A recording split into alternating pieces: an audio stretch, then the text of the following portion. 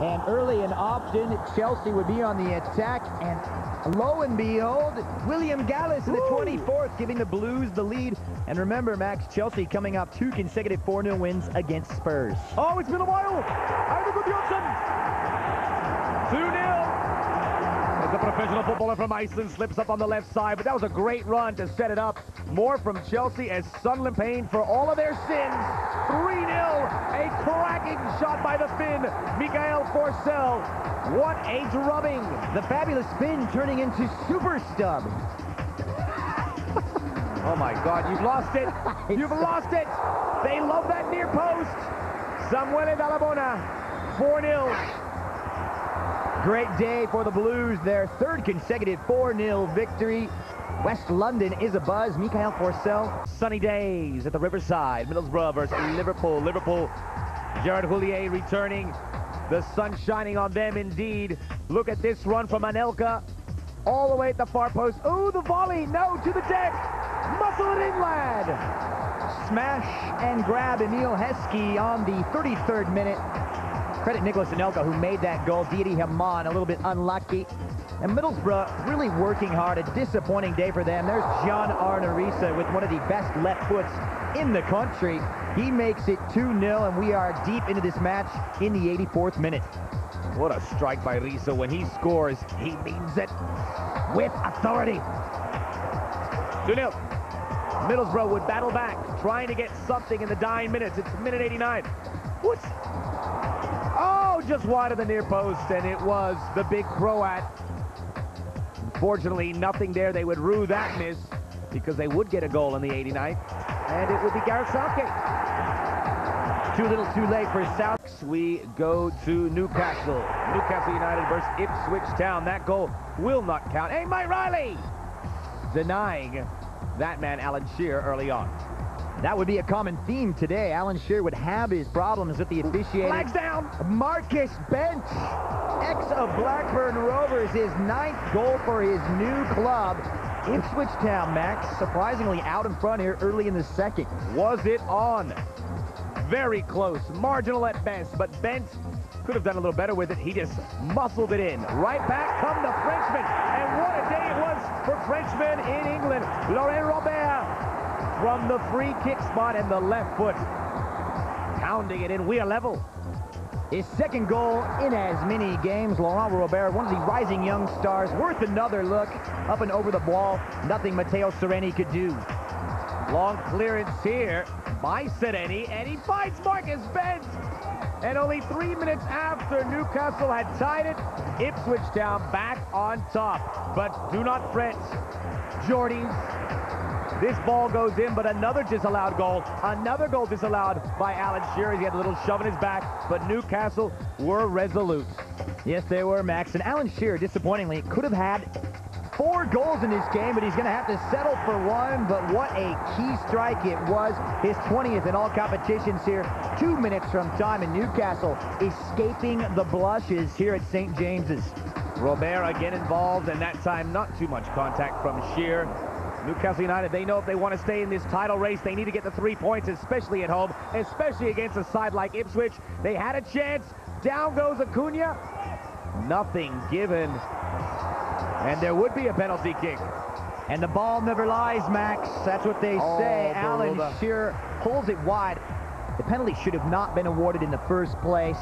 Newcastle blows it. They had it in their... What a game at West Ham United at Upton Park as West Ham battled Manchester United. Steve Lomas, what a day for Redheads. First Riise, now Lomas, it's 1-0. Lomas with his first goal in 16 minutes. Worth another look. How did he learn how to do that?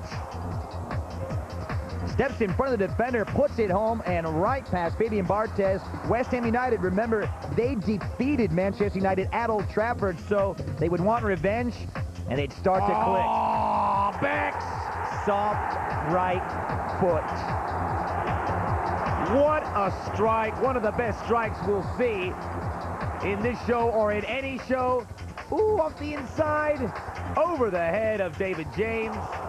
It all started in the midfield, and Beckham took care of the rest. Well done by Paul Scholes to pick out Becks. A lot of goals in the first 25 minutes. Watch this run from Sebastian Schemmel and the finish by Freddie Kanouté. What is with the Frenchman today? 2-1 West Ham United. This all in the first 20 minutes of the match. Is there a clean sweep on the cards? Well, I don't know, but West Ham coming right back after that Beckham goal. This just three minutes later. Tough finish there from Kanouté. Very powerful ball sent in by Schemmel, but off the free kick, Nicky Butt thinks he's oh! Hugo Sanchez. 2-2. Hugo Sanchez in the house. Looked like a, a famous Dutch player to me as well. Not too shabby. Take a look, though. Nicky Butt fully extends a bicycle kick from the England international, who is left totally unmarked.